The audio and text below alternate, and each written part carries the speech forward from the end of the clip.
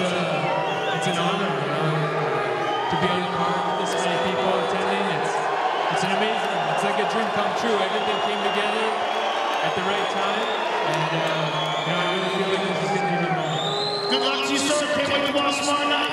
Robbie ladies and gentlemen, and champion, Lawler.